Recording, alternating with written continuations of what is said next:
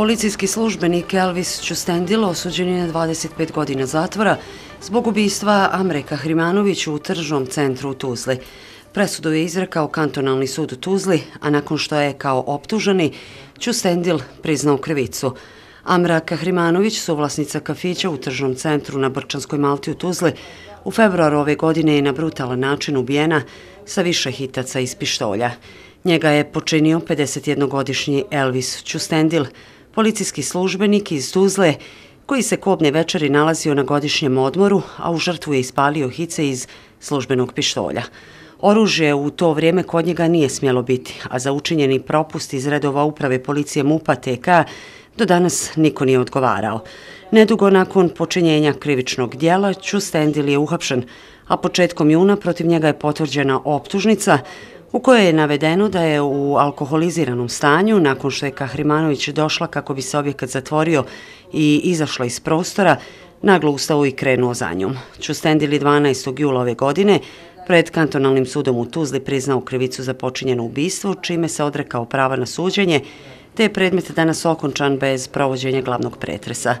Tužilaštvo Tuzlanskog kantona je istragu u ovom predmetu provelo sa federalnom upravom policije, a obavljeno je 11 vještačenja.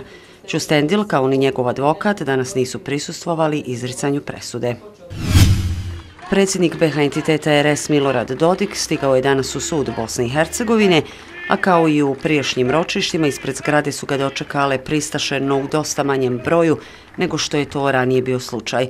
Pred sudom Bosne i Hercegovine danas je nastavljeno suđenje predsjedniku RS-a Miloradu Dodiku i vršitelju dužnosti direktora službenog glasnika RS-a Milošu Lukiću. Dodik je naglasio da je Šmit trebalo da dođe u sud Bosne i Hercegovine kako bi se, kako kaže, vidjelo šta je kod njega povrijeđeno, ali da su ga sud i tužilaštvo zaštitili dok optužuju domaće ljude. Na prethodnom ročištu, podsjećamo, tužilaštvo Bosne i Hercegovine je završilo s iznošenjem svojih materijalnih dokaza, dok su zahtjevi odbrane za svjedočenjem visokog predsjednika u Bosni i Hercegovini Kristijana Šmita odbijeni. Delegacija Evropske unije u Bosni i Hercegovini oglasila se na mrežama nakon što je bila na meti burnih kritika zbog polaganja vijenca na vojničkom groblju u Bratuncu. Kancelarija Evropske unije u našoj zemlji zajedno sa diplomatama zemalja članica Evropske unije jučer je odala počast nevinim civilnim žrtvama ubijenijim na području birača u okolini Bratunca u periodu od 1992. do 1995. godine. Počast smo odali isključivo nevinim civilnim žrtvama. Nedvosmisleno osuđujemo počinitelje svih zločina. Groblje u Bratuncu, na kojem je položeno cvijeće, je mjesno gradsko groblje, gdje su ukopane i nevine civilne žrtve iz rata od 1992. do 1995. godine. Neistinite su tvrdnje da se radi o vojničkom groblju ili da su tu ukopani isključivo poginuli vojnici. Jedina namjera sa polaganjem vijenca u Bratuncu nam je bila da iskažemo empatiju, poštovanje i razumijevanje za stradanje svih nevinih civilnih žrtava, poručili su iz delegacije Evropske unije u Bosni i Hercegovini. Podsjećamo delegacije koja je položila cvijeće, bila je e, na meti žestokih kritika javnosti. Reagirale su majke Srebrenice koje su poručile da je njihov odnos prema žrtvama genocida krajnje licemjeran i uvrijedljiv. Primjetan je porast izraelskih napada na vrlo gusto naseljen kamp Nuseirat u kojem se nalaze hiljade palestinskih porodica.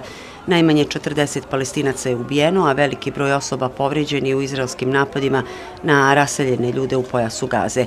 Kancelarija za medije vlade u Gazi saopćila je da su 23 osobe ubijene, a 73 povrijeđene u još jednom napadu na školu koju vode Ujedinjeni narodi, u kojoj su smješteni raseljeni ljudi u izbjegličkom kampu Nuseirat u centralnom pojasu Gaze. Novi masakri su posljednji u genocidu koji je počinila okupacijona vojska nad našim palestinskim narodom, navodi se u saopćenju. Apeluje se na međunarodnu zajednicu, agencije Ujedinjenih naroda i međunarodne organizacije da izvrše pritisak na okupatore i Washington da zaustave genocidni rat u Gazi. Govorimo o dramatičnom porastu napada na centre za evakuaciju kojima upravljaju Ujedinjeni narodi. To je imalo apsolutni razoran utjecaj na sigurnost tih civila kojima je ranije izraelska vojska rekla da tamo idu radi vlastite sigurnosti. Najmanje šest škola bilo je meta napada u proteklih deset dana.